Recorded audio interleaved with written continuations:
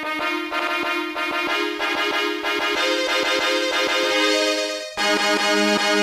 you.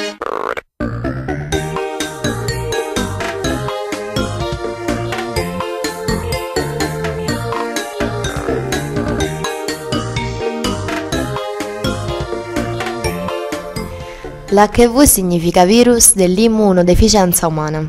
Se un soggetto viene infettato dal virus, proverà a combattere l'infezione generando anticorpi, speciali molecole che testimoniano l'avvenuta infezione ma non sono in grado di debellarla.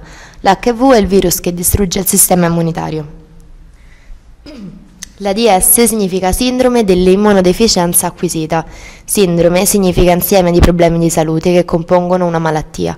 Immunodeficienza significa debolezza del sistema immunitario a combattere la malattia. Acquisita significa che si contrae tramite il contatto con il virus. La malattia a livello cellulare. Le malattie infettive da batteri o protozoiche entrano nel nostro corpo in cerca di un ambiente favorevole, dove possono proliferare e di conseguenza creano problemi all'organismo, ma comunque non entrano nelle nostre cellule. Invece, le malattie infettive da virus entrano nelle cellule per inserire il loro DNA o RNA all'interno del nucleo ed ordinare la costruzione di suoi simili che infettano altre cellule.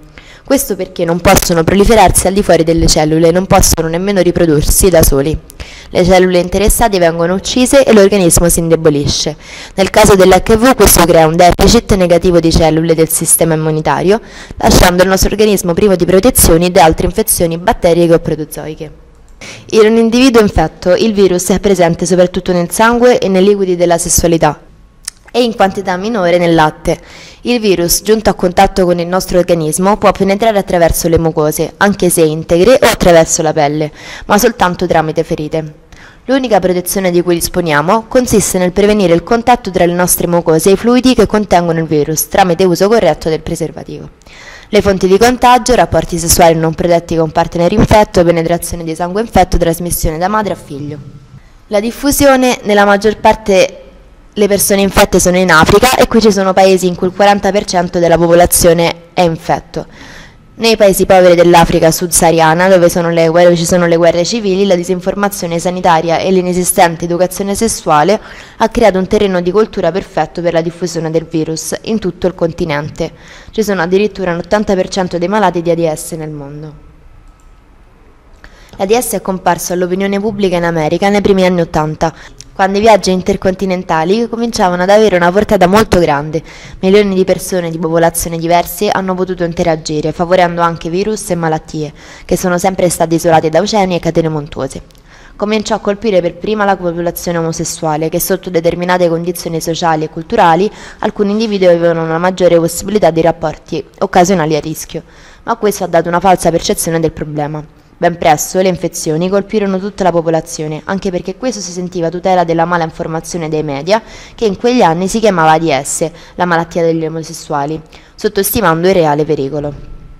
A volte anche per motivi politici ed ideologici tali affermazioni e credenze sono state avvalorate con campagne pubblicitarie ed informative sbagliate, se non addirittura faziose.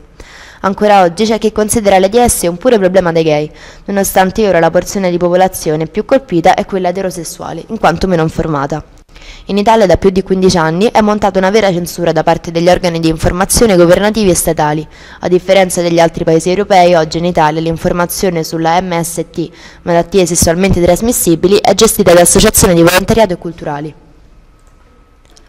Facendo il test dell'HIV, che si effettua tramite un semplice prelievo del sangue, in caso di seropositività il test rileva la presenza di anticorpi anti-HIV prodotti dall'organismo per contrastare il virus. Il test eseguito con la metodica ELISA è molto migliorato negli anni per la precisione e per la velocità nel rilevare gli anticorpi dopo il presunto contagio.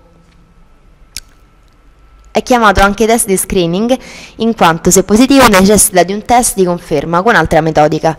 Dire il test dell'ADS è errato in quanto il test evidenzia solo se una persona è infetta da HIV e non se è malata di AIDS. Infatti l'ADS è la fase terminale dell'infezione da HIV. Oggi i test sono gratuiti ed anonimi, prima erano basati sull'esame del sangue e oggi esistono anche test salivari, ma tutti questi test danno informazioni sulla situazione di sei mesi prima.